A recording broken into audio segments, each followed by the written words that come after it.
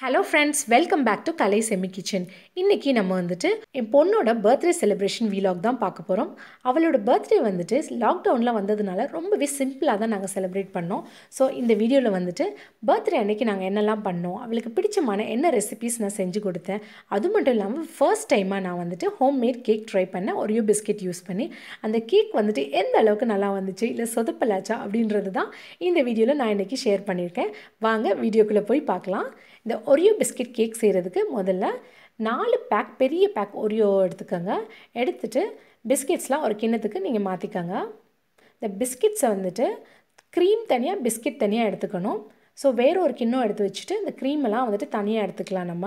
இந்த மாதிரி எல்லா பிஸ்கெட்ஸ்க்கும் நம்ம இந்த மாதிரி பிரித்து எடுத்துப்போம். எடுத்ததுக்கப்புறமா இப்போ பாருங்கள் எல்லாம் பிளெயின் பிஸ்கெட்ஸ்லாம் ஒரு கிண்ணத்தில் வச்சுருக்கேன். க்ரீமெல்லாம் வந்துட்டு இன்னொரு கிண்ணத்தில் எடுத்து வச்சுருக்கேன். இப்போ வந்துட்டு நம்ம எடுத்து வச்சுருக்க பிஸ்கெட்லாம் நல்லா வந்துட்டு ஒரு மிக்சி ஜாரில் உடச்சி விட்டுக்கலாம். இந்த மாதிரி உடச்சிட்டு நம்ம அரைச்சோன்னா நல்லா சீக்கிரமாக அரைப்படும். இந்த பிஸ்கெட் சேர்த்ததுக்கப்புறமா நம்ம ஒரு ஸ்பூன் சுகர் சேர்த்துப்போம் இதில். சேர்த்துட்டு இதை அரைச்சிட்டு வந்து பார்க்கலாம். நல்லா அரைப்பட்டுருச்சு. இப்போ இது கூட வந்துட்டு நம்ம ஒரு கப் பால் சேர்த்துக்கணும். நான் ஃபஸ்ட்டு வந்துட்டு முக்கால் கப் மட்டும் தான் சேர்த்துக்கிறேன்.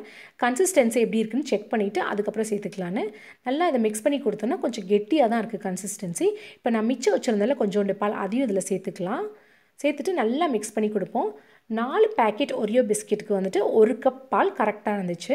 ஸோ இதை நல்லா மிக்ஸ் பண்ணி கொடுத்துட்டு இதில் வந்துட்டு ஒரு மூணு ஸ்பூன் எடுத்து இன்னொரு கிண்ணத்துக்கு நம்ம எடுத்து வச்சுக்கலாம். இது எதுக்குன்னா வந்துட்டு நம்ம டெக்கரேஷனுக்குலாம் நல்லா யூஸ் ஆகும் இது.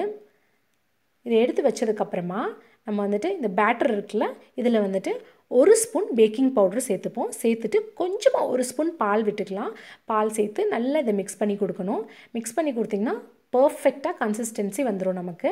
ஸோ இப்போ கேக் டின் எடுத்து நம்ம அதில் ஆயில் அப்ளை பண்ணிக்கலாம். அதுக்கு மேலே வந்துட்டு பட்டர் பேப்பர் போட்டுப்போம். இந்த பட்டர் பேப்பருக்கு மேலேயும் வந்துட்டு ஆயில் அப்ளை பண்ணிக்கணும். சப்போஸ் உங்கள்கிட்ட பட்டர் பேப்பர் இல்லாட்டி நீங்கள் வந்துட்டு மைதாவை தூவி விட்டுக்கலாம்.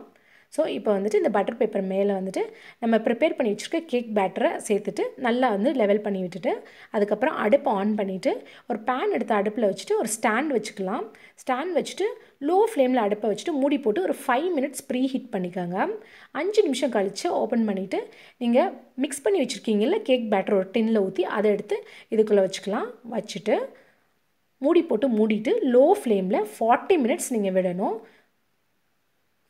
ஃபார்ட்டி மினிட்ஸ் கழித்து நீங்கள் இதை எடுத்து பார்த்தீங்கன்னா நல்லா சூப்பராக மேலே வந்து ஒப்பிட்டு பொங்கி வந்திருக்கும். ஒரு குச்சி வச்சு நீங்கள் எடுத்து பார்த்தீங்கன்னா ஒட்டாமல் இருக்கணும். அதான் பர்ஃபெக்டாக வந்துருச்சுன்னு அர்த்தம். இப்போ அடுப்பு ஆஃப் பண்ணிவிட்டு ஒரு பத்து நிமிஷம் கூல் டவுன் ஆக விடுங்க.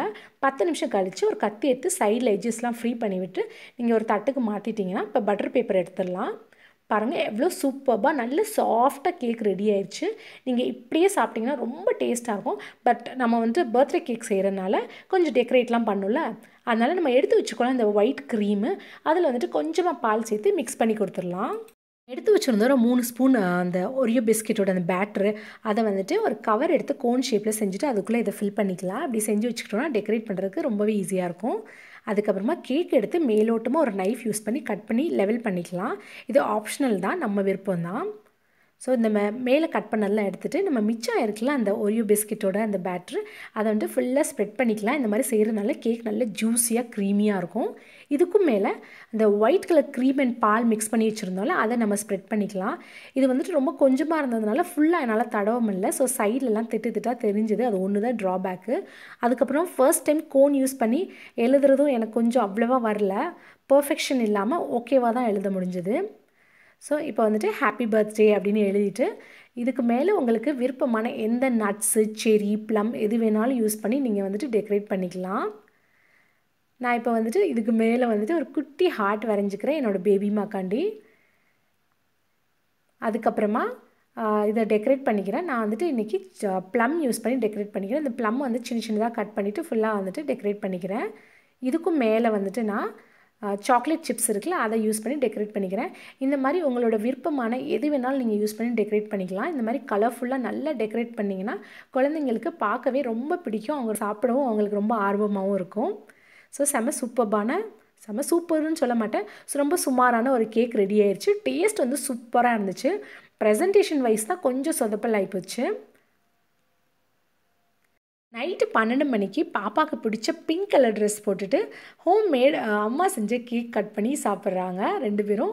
டேஸ்ட் ரொம்ப பிடிச்சிருக்குன்னு பாப்பா சொல்கிறா எங்களுக்கும் டேஸ்ட் வந்துட்டு ரொம்ப ரொம்ப பிடிச்சிருந்தது. பர்த்டே அன்னைக்கு காலையில் வந்துட்டு ரொம்ப ஹெல்தியான அவல் உப்புமா மற்றும் கேசரி பாத் செஞ்சுருந்தேன். டேஸ்ட் வந்துட்டு அவ்வளோ சூப்பராக அட்டகாசமாக இருந்துச்சுலாம் பில்டப் பண்ணல. ஓகே நல்லா இருந்துச்சு. சாப்பிட்றதுக்கு டேஸ்ட்டாக நல்லா இருந்துச்சு. அதுக்கப்புறமா மத்தியானமாக சிக்கன் பிரியாணி சிக்கன் குழம்பு அதுக்கப்புறம் தயிர் பச்சடி செஞ்சுருந்தேன். என்ன பிரியாணி ரொம்ப சிம்பிளாக லைட்டான கலரில் இருக்கேன்னு யோசிக்கிறீங்களா? குட்டீஸ் வந்துட்டு ரொம்ப மசாலாலாம் போட்டு செஞ்சாக்கா அவங்க சாப்பிட மாட்டாங்க. பீஸ்லாம் எடுத்து வச்சுருவாங்க. ஒன்லி ரைஸ் மட்டும் தான் சாப்பிடுவாங்க. ஸோ அவங்களுக்கு பிடிச்ச மாதிரி ரொம்ப மைல்டாக மசாலாலாம் போட்டு செஞ்சு கொடுத்தேன். ரொம்பவே விரும்பி சாப்பிட்டாங்க.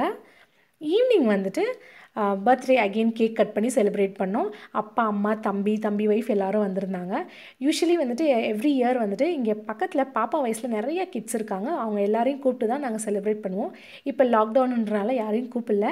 ஸோ ரொம்ப சிம்பிளாக தான் செலிப்ரேட் பண்ணோம். கேக் வந்து சூப்பராக இருக்கேன்னு யோசிக்கிறீங்களா? கடையில் வாங்கின கேக் அதனால தான் இவ்வளோ சூப்பராக நல்லாயிருக்கு கேக் கட் பண்ணி தம்பிக்கு ஊட்டி விடுறான் குட்டி பையனுக்கு ரொம்ப ஹாப்பி ஆயிடுச்சு இதெல்லாம் ரொம்ப நாள் கழித்து பார்த்ததும் நல்ல சந்தோஷமாக இருக்காங்க ரெண்டு பேரும். நாங்கள் எல்லோரும் ரொம்ப ஹாப்பியாக செலிப்ரேட் பண்ணோம்.